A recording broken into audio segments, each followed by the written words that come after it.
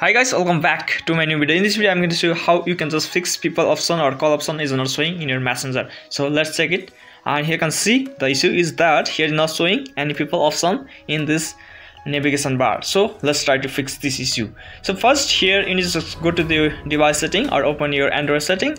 Now here you need to scroll down a little bit and here you can find the app management option. Just tap on it and here you just go to the app list and here you can find the messenger or you can just search for messenger. Then here you can see the messenger just tap on it and it will load the messenger settings. Now you just go to the storage and just tap on clear storage and clean, click on delete. And it will delete all the data inside the messenger. Then here you just go back and again check whether that is fixed or not.